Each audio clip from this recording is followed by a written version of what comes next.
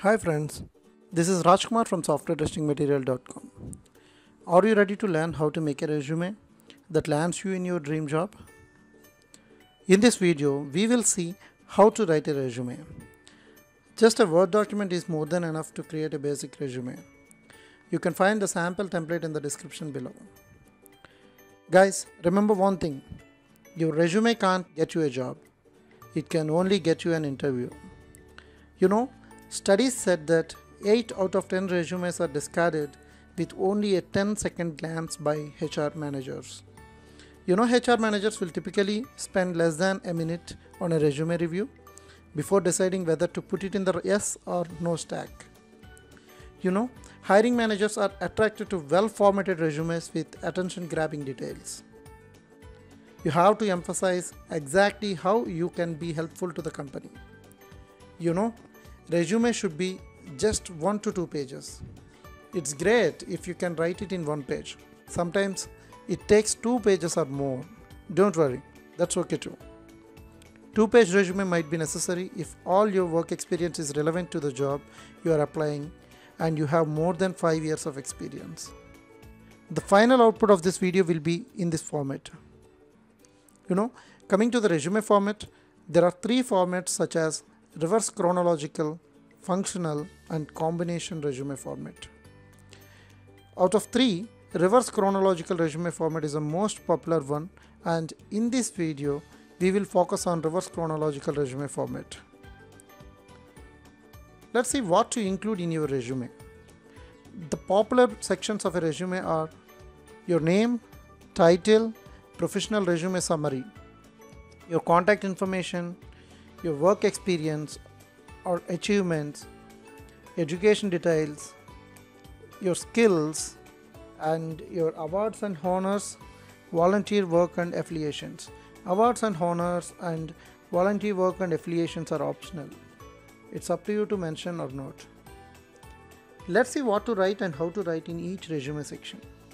First, start with the section name. Your first name and last name should go here. Even though you prefer to be called by a nickname, don't mention it in your resume. Just stick with your first name and last name. And next goes your title. Your professional title goes here. Something like automation tester or software developer or senior data scientist or any other. Next section is professional summary. For freshers, you can mention it as resume summary or objective. If you are a recent graduate or entry level applicant or you don't have in depth experience in the industry, then you can write resume objective of 2 to 3 sentences. 2 to 3 sentences are more than enough.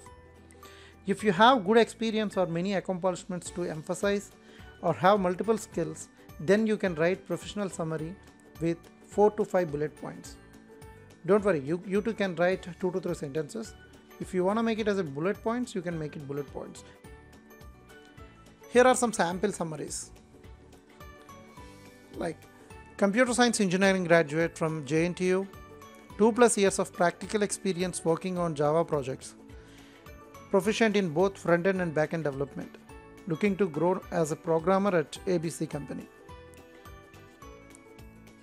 Sample 2 Senior software developer with over 5 years of experience in Java. Managed a team of software developers to create mobile apps. Looking for new opportunities as a project lead for a software company. And the next section goes contact information. Contact information to be included in a resume is as follows Your phone number. Don't include your work phone number, just include your personal number. Mailing address or location.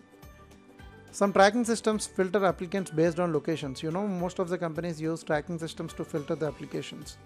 So, if you are relocating, don't forget to mention both current and future locations. The tracking systems find your location. Email address. Create a free Gmail account for your job search. Make sure it's appropriate, like the address based around your name, like rajkumar at gmail.com or your name at gmail.com, something like that. It should be professional. And LinkedIn profile URL. Update your LinkedIn profile and add your LinkedIn profile URL in the resume.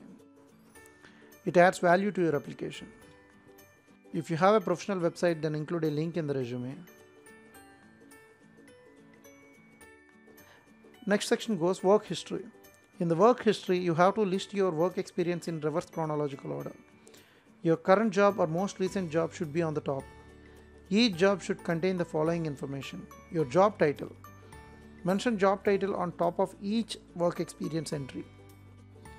Company name. Mention the company name you have worked in. Job location. Location of the company. It's not that much mandatory, but it's good to mention. Start and end dates the time frame of your employment in each company in the format month and year. Responsibilities and achievements. List your responsibilities or achievements related to the job underneath the entire start and end dates. For example, Senior Software Development Engineer in Test and TCS Limited, Hyderabad, India, March 2008 to present. The next, Software Development Engineer in Test, TCS Limited Hyderabad India April 2016 to March 2018 see I have mentioned here in reverse chronological order. My recent company in the top the next section is education section. In this you have to list your education in reverse chronological order same like your work experience. List your highest degree first. This section contains the following information. Institution name. And one thing mention high school only if that's the highest level of education you have achieved. Otherwise skip your high school details and the name of the degree and the location of your school even it's an optional one you can mention it's good to mention years attended and date of graduation in months and years. And the next one is GPA. It's optional. Include your GPA only if it is above 3.5.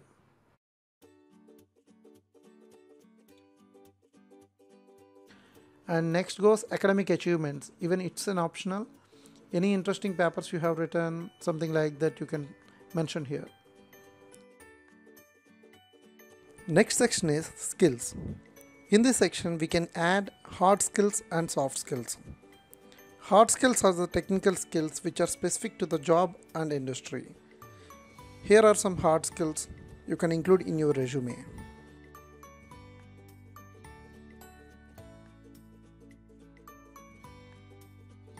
The next thing is soft skills. Soft skills are the abilities which are social skills or people skills. Here are some soft skills you can include in your resume. The best practices to follow. We recommend reviewing your resume properly to make sure your final product is good to go. Review your resume at least twice to catch typos and misspellings. You can use an online grammar and spell check tools to find the typos and misspellings. These will help you in fixing typos and misspellings and also make suggestions to improve your writing. Even you can ask your friend or colleague to review your resume. Make sure choose easy to read fonts such as Arial, Calibri, Times New Roman and stick to that format throughout the resume. Choose font size 10 or 12 but don't go beyond 9. Change sizes in descending order from your name, header and bullet points. Make all headings in bold. Use keywords that employers are using in their job descriptions. Save your resume in Microsoft Word format and PDF format. There is no need to include your date of birth. When you finish with your resume, don't forget to write a matching cover letter. In the next video, we will see how to write a cover letter. Download the free sample resume template.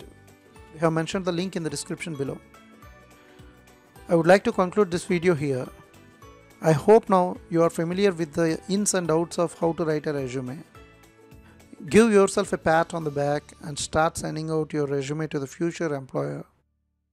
If you have any questions, leave a comment below and I will answer it. Thank you for watching. Make sure you subscribe, like, comment and share.